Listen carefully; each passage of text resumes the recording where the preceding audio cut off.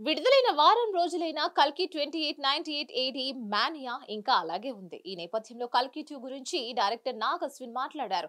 మరో కొత్త ప్రపంచాన్ని అందులో చూపిస్తానని కూడా అన్నారు. ఇంకా ఆయన ఏం చెప్పారో తెలుసుకుందాం. ప్రపంచ వ్యాప్తంగా వసూళ్ళ సునామీ సృష్టించిన కల్కి twenty eight ninety eight AD cinema వేడి ఇంకా తగ్గనే లేదు. అప్పుడే director Nag Ashwin part two గురించి అప్డేట్స్ ఇస్తున్నారు. ఇలాంటి సినిమాని తెరకెక్కించినందుకు డైరెక్టర్గా తనకు గర్వంగా ఉందని అన్నారు.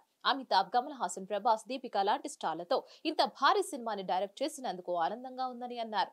శంకర్పల్లిలో ఉన్న కల్కి సెట్స్లో ఆయన విలేకరులతో మాట్లాడారు.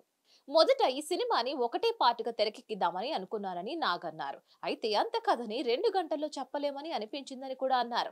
అందుకనే పార్ట్ టూ ప్లాన్ చేసినట్లు చెప్పారు. దీనికి సంబంధించిన ఇరవై రోజుల షూటింగ్ పూర్తయినట్లు తెలిపారు. ప్రభాస్ క్యారెక్టర్ సెకండ్ పార్ట్లో మరింత హైలైట్ అవుతుందని చెప్పుకువచ్చారు.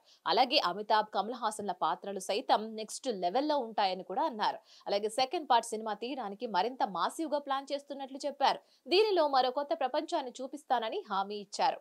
ఫస్ట్ పార్ట్లో కర్ణుడి పాత్ర ఇంకా అందరికీ అర్థమైనట్లు లేదని అన్నారు. అందుకనే ఆ పాత్రపై విమర్శలు వస్తున్నాయని అభిప్రాయాన్ని వ్యక్తం చేశారు. ఈ సినిమాని రెండోసారి చూస్తే ఆ పాత్ర బాగా అర్థం అవుతుందంటూ చెప్పుకోవచ్చారు. Second time worth watch movie కల్కి అంటున్నారు. ఇక తాను ఇంత పెద్ద సినిమాను తీయగలిగానంటే అది మేకర్స్ పుణ్యమేనని అన్నారు. వై జయంతి మూవీస్ ఖర్చుకు వెనకాడకుండా ఈ సినిమాని తీర్చిదిద్దడంలో సహకరించిందని కూడా హర్షం వ్యక్తం చేశారు.